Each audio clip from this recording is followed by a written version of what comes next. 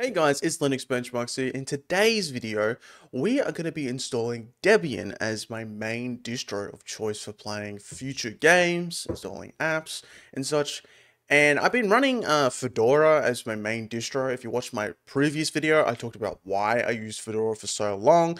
And I think it's time that I try and move to a different distro and try and mate it. I mean, I've, I have distro hop to other distros, but I always, I always hop back to Fedora. But Debian was one that I actually enjoyed a lot. But I had one little issue that I didn't really have time for as I was just, you know, making other videos, playing games, live streaming that um, I didn't really want to fix that issue, so I just hopped back to Fedora for now, but I'm going to move back to Debian today in today's video, and we're going to set it up fully. Uh, I've got a recording on my second PC, so we're going to actually install it on my main computer, and I'm going to install all my applications. We're going to get set up Steam um, for like, you know, playing games. I'll show off some, uh, some gameplay of the games that I usually play.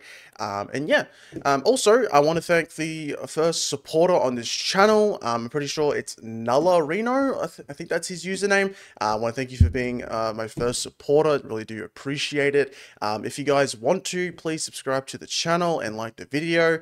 Um, and if you want to, you can definitely become a supporter. By no means, you do not need to do that, but it would be really appreciated. So the first thing that we are going to do is we're going to go to the debian.org website to grab the ISO.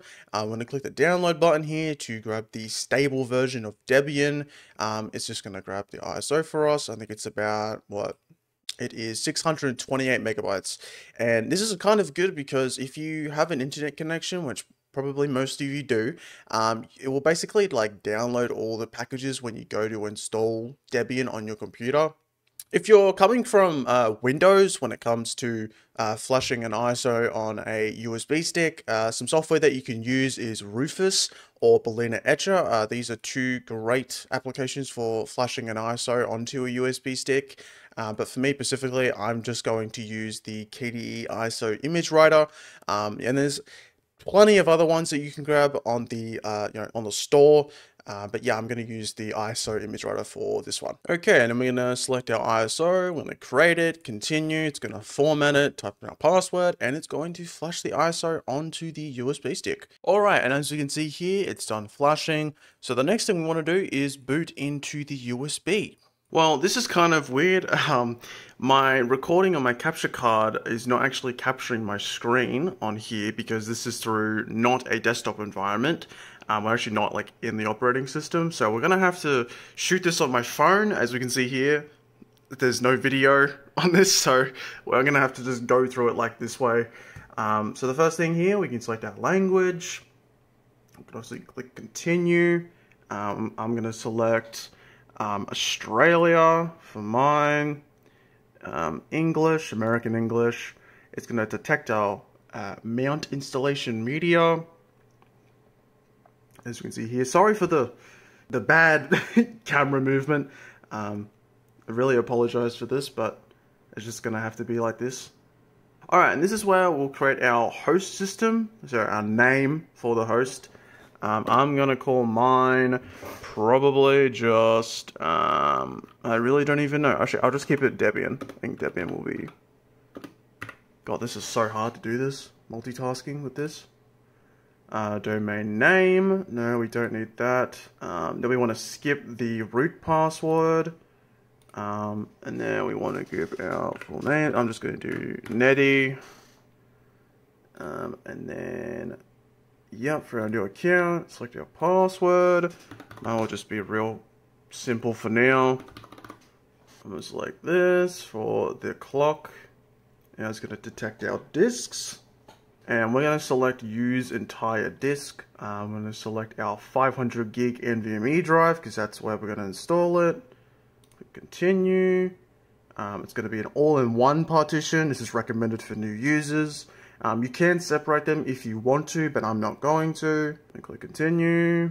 Click continue. Yes, I would like you to write changes to this disk. And now it's going to install the base system. Uh, configure the package manager. So this is where you'll select the repo uh, server location. Uh, so wherever you are in the world, you would select it here. So mine's Australia. we're going to choose the Debian, uh, the dot, the deb.debian.org uh, repo slash like server. Continue. It's going to configure the apt. Uh, so the next thing we can do here is we can um, send basically data to the Debian team um, so they can like, you know, uh, look at it, like statistics and stuff like that to show off. Um, I'm going to click yes, because why the hell not? Debian is a lit community. Um, next is where we get to choose our desktop environment. So I'm going to choose KDE Plasma. This is my main desktop of choice. Uh, I don't really like GNOME that much. Um, but if you like GNOME, definitely keep it on the default. Um, there is plenty of other ones you can choose. So I'm going to click continue. And this is uh, where it's going to install the desktop for us. Alright, as you can see here, the installation is complete, so it is time to boot into your new system. Make sure to remove the installation media so that you boot into the new system rather than restarting the installation. So we're going to click continue here, and I'm going to remove my USB stick. And now it should boot into Debian for us. As you can see here, here's our bootloader, our grub, there's systemd, and here we are. We're at the login screen. You can just log in. Yeah, we're, we're in. we're, we're in Debian now. Alright, so now that we're actually in Debian now, um, I want to do a couple of things when it comes to uh, customizing KDE to the way that I like it. So I was just making sure that my capture device was working properly. Um, the next thing that I'm going to do is turn on dark mode because I don't want a uh, white mode at all. and then I'm probably going to go to my mouse to turn off mouse acceleration. Just leave it on flat. Now it's on flat. Um, there's a couple other things like the KDE wallet. I don't want that. I don't want to set up any encryption type stuff um, for different apps. Uh, usually on my audio, I like to you know, put this to 100%. I like to let this just be an output. Uh, I'm not going to use this as input because there's no mic on my IEMs. Um, usually there'd be a mic here, but this mic is on my second PC at the moment, so I'll change that later. Power management, I like to turn this stuff off um, button handling to shut down when I press it. I like to go to your workspace behavior, go to screen locking, uh, turn the screen locking off, uh, go to the screen edges, turn this to no action at all, so nothing happens when I put my cursor up at the top left screen. I also like to go into edit mode and remove the peek at desktop because I never use that. Now, the next thing that I would probably do is update Debian. I'm pretty sure that Debian already updated the PC as it downloaded a bunch of packages, but I might be wrong here. I am not wrong. It's already up to date. Um, so I guess the next thing that we'll do is actually switching uh, switching Debian to testing, as I'm not going to stay on the stable version, as I would like to play some games, and I don't want to use like Firefox ESR, which is like the um, long-term Firefox version, uh, which is like just kind of like a, just like an LTS version of Firefox, you could say.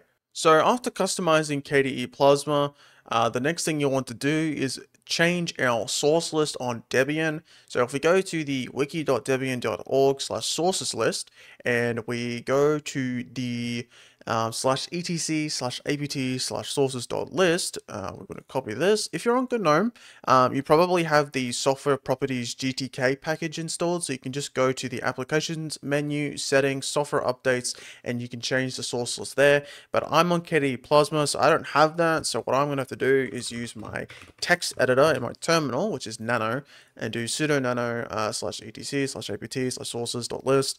Um, and then we want to um, edit these out by adding a hash, which means that it won't be used. Um, and for me, I'm going to use SID, which is unstable.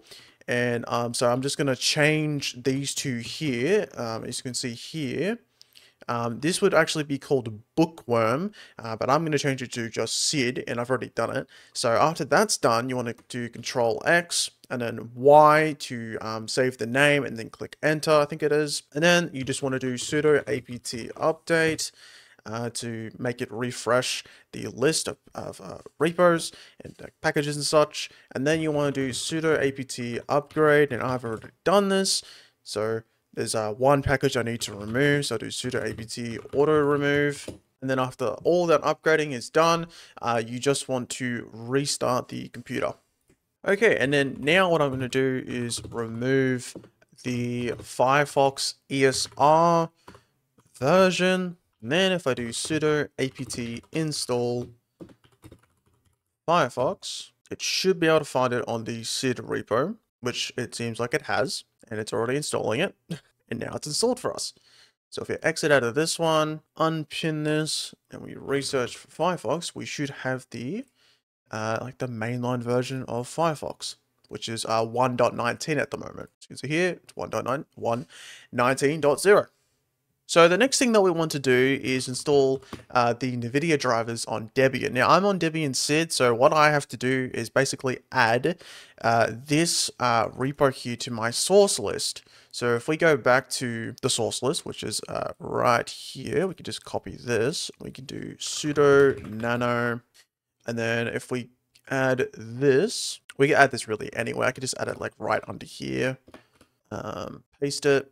And if I do control X, Y, save, um, and then if I do this command here, which will install the NVIDIA driver, or actually no, we, we would do apt update first, uh, just so I can see it. Uh, we have some icon problem, that's fine I guess for now, I'll fix that later. Uh, but we want to do the sudo apt install NVIDIA driver, and as you can see here, it has found it. So we would just click Y to install it, and then it would reboot, and then it would switch to the NVIDIA driver for your NVIDIA, NVIDIA graphics card. Alright, so the next thing that we're going to do is install Steam. Now, we could install the Flatpak version if you wanted to Steam. That's what I did last time. Uh, but I'm going to try and install the system one through the Debian repo. So we have to add the uh, contrib uh, non-free repo, which we just added before for the NVIDIA drivers. So I'm pretty sure if we add this architecture, because that was an issue I was having before, I can see here, it's um, requiring the um, i386 libs, which I don't have, broken package basically. Um, so we have to do this, or we have to do sudo, needs permission for that, to add it. And then we just do sudo apt update and then the next thing is to install the Steam installer, which should install it for us. Know, also this is my uh, my like first time you know running Debian, so this is kind of this is very new to me. Uh, learning stuff through the terminal um, on on Debian. Uh, so this is a lot different from Fedora. There's a lot of packages that are missing, it seems. Um, but I do understand that like you know, like Mesa Vulkan drivers and all that stuff is already um, installed for us. So Steam should be installed, right? Steam is, uh, uh, yeah. And now it will actually install Steam for us because what we installed before was a Steam installer. Um, so basically just launches the Steam installer. Um, we could have just gone the route of grabbing the .debian package from the Steam website. That probably would have been way easier, but um, I kind of just wanted to do it from Debian itself, and that seems to be working out um, quite fine. And uh, the Debian wiki seems uh, pretty easy to understand, uh, kind of similar to the Arch wiki, very similar to it, I would say. Um, so this is a lot of help. If you need any help um, and you can't you know understand any like YouTubers explaining stuff, you and you're running Debian or Arch um, or even like Fedora as well, you can go to their wikis um, to install different uh, packages and stuff like that. Probably while um, Steam is updating, we can enable the FlatHub uh, repo in the Discover store. So if we go here, it should appear. We have to add the Flatpak backend. So we just click install, type in our password, and then that should add it. And then if we, I think if we close Discover, reopen it, go back to settings, we can add the FlatHub repo itself like that. And I'm pretty sure uh, this will either require a restart or um, killing the uh, Discover process and basically just restarting Discover fully. Um, as you can see here, it's already added it. Um, and is this from the FlatHub repo? It is. All right, so yeah, FlatHub's already enabled for us. So we can start installing any um, FlatHub packages that we want, which I have a bunch that I need to install, um, that I have a list on uh, a document file. And as you can see here, Steam is set up as well. So I'm going to sign into Steam. Okay, and now that Steam is set up, we're going to go to our settings on Steam. We're going to go to our downloads and we're going to disable our shader precache as we do not need that anymore. We want to go to our compatibility, enable Steam Play for all other titles. Um, and we're going to enable uh, Proton 8.0-4 because um, I don't like to run the experimental on all my games. I feel like if a game already works on Proton 8 well enough, like there's no issues, then there's no point in running experimental. Um, and then if I want, like let's say a game doesn't work on Proton 8, then I will use experimental to see if it actually improves anything or fixes the issue that are happening on a specific game. So after this, we're going to restart Steam. I'm also going to um, install GNOME disk. Um, I don't know if that's available. Um, it is, so we can install on that. Um, so then I can uh, remount my disk, my second uh, SSD that I have for my game. So then I can actually play games on Steam. I'm just going to go here. I'm going to edit the mount. I'm going to turn this off and then I'm going to change the mount point, change it to slash games, type in my password, remount it. And then we also got a Windows partition as well. I'm going to have to reset that back up again. Um, we want to go to our settings. We want to go to storage. Um, I'm pretty sure it will find it, as we can see here. Um, and then if we go to our library, we can see it's detected all of our games. So we can try out some games right now. Um, game mode should already be installed. It might not be. We'll, we'll see how this goes. Uh, we don't even need to use game mode really. Uh, we can use whatever the hell we really want. Um, we'll just leave this off. Wait for the um, Steamworks common uh, thing to update for us. Shouldn't take that long. Also, um, uh, there is an issue on Debian with Steam having slow download speeds, and I'm seeing it right now. Um, I'm only getting about mm, like 40, 40 down. I have around 80 down, so I'm going to install this uh, DNS thing here. I don't know if this will actually work. I'm pretty sure last time I tried it, it didn't work, but I'm going to try it again as I think I didn't set it, I didn't set it up properly. Um, so we just, you know, want to do our sudo apt update. Um, then we want to do apt install the DNS uh, mask. I think that's, that's what it's called. um, oh, I know. And then we want to grab uh, resolvconf and then we want to do a service uh, restart for these so that they're actually like active. All right, and then the download should be fixed. If it's not, I do remember uh, someone on Reddit telling me of another fix, so I'll probably go do that if it doesn't work. Um, but uh, we'll test out Apex Legends right now. We'll see if uh, that wants to launch with game mode. I don't know if game mode's actually installed. Let me see here, apt install game mode, it's not installed. All right, now if we click play on Apex Legends, it should launch with game mode active. I always play on Singapore servers because no one plays really um, in Australia, I would say. Uh, but we can go to the firing range. You can see the game is loading here and we can um, muck around. And um, at the moment, um, cache is being loaded. So the um, game is a bit stuttery currently. I jumped in a bit too quickly, but things are smoothing out really quickly now. As you can see here, the game is working. Uh, some people did say in my comments that, uh, you know, that I wasn't showing gameplay in my other one when I set up games for, uh, for Linux. Um, and I just went into the, into the menu and I didn't really show any gameplay. So just to show here that gameplay is working, you know, here's Apex is working uh, perfectly fine. There is no audio because I'm recording on my second PC and I don't have any audio routing to the second PC, so sorry that you can't hear the audio, but the game is working uh, really well. But anyways, yeah, Apex does work. And yeah, we, we can install things like MangoHud as well if you want to. We can probably grab the um, GOverlay application. Um, if we have a look here, GOverlay does exist. So we can set that up for us. Um, and that's really about it. You know, everything else is through uh, Flatpak. So, you know, like bottles, for example, um, I would grab that. I'd grab Lutris. Um, there is a system version. I'm going to grab the Flatpak version of Lutris as I just prefer my most of my apps being in Flatpak. I'm also going to grab Discord as I really do need that. Um, and yeah, there's, there's there's nothing really else to do on Debian now that we have it set up. Now, now that we're on Debian Unstable, we've got Steam set up.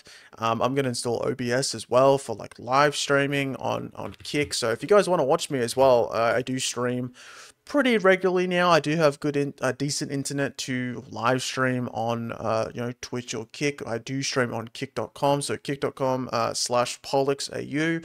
Um, I, like I said before, I stream pretty regularly. so go follow me there if you want to.